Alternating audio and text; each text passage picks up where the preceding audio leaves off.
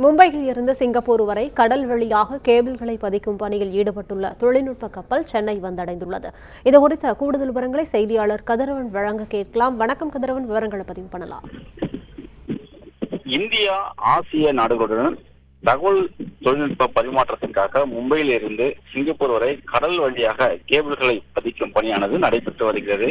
இந்த ஃபைபர் கேபிள்களை பதிக்கும் பணியை ஏற்கனவே ரிலையன்ஸ் ஜியோ போன்ற நிறுவனங்கள் மேற்கொண்டு வந்த நிலையில தற்போது என்ஜிடி எனப்படும் தனியார் நிறுவனமும் மும்பையில் இருந்து கடல் வழியாக இந்த கேபிள்களை பதிக்கும் பணியை நடத்தி வருகிறது தற்போது மும்பையில் இருந்து கேபிள்களை எடுத்து வந்த தொழில்நுட்ப கப்பல் சென்னை வந்து அடைந்திருக்கிறது சென்னையில் உள்ள என்ஜிடி அலுவலகத்தில் இந்த கேபிளை இணைக்கும் பணியானது நடைபெறுகிறது. சென்னை சாந்தம் கடற்கரை பகுதியில் மும்பையிலிருந்து கடல் வழியாக கொண்டு வரப்பட்ட கேபிளை நிலத்தின் வழியாக என்ஜிடி அலுவலகத்தில் இணைப்பதற்கான பணிகள் தற்போது நடைபெற்று வருகிறது.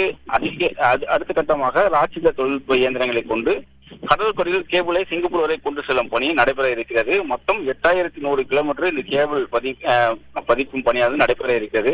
Mumbai Chennai Myanmar Thailand Malaysia Singapore வரை செல்லும் எனவும் தெரிவிக்கப்படுகிறது ஏற்கனவே இதற்கான அனுமதி சிஎஸ்ஆர் வழங்கியிருக்கக்கூடிய நிலையில ரெண்டாயிரத்தி பத்தொன்பது இருந்தே இந்த பணியானது தொடங்கி நடைபெற்று வருவதாக தெரிவிக்கப்படுகிறது இந்த ஃபைபர் கேபிள் மூலமாக அதிவேக டேட்டா சேவை பெற முடியும் என்றும் குறிப்பாக செயற்கைக்கோளின் உதவி இல்லாமல் அதிக பேண்ட்வித் கொண்ட டேட்டாக்களை அனுப்பவும் தொலைபேசி இன்டர்நெட் உள்ளிட்ட அனைத்து தகவல் தொடர்பு வசதிக்கும் இந்த கேபிளை பயன்படுத்த முடியும் என்று தெரிவிக்கப்பட்டிருக்கிறது.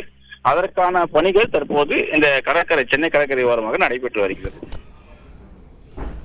தகவல்களுக்கு நன்றி கதிரவன்.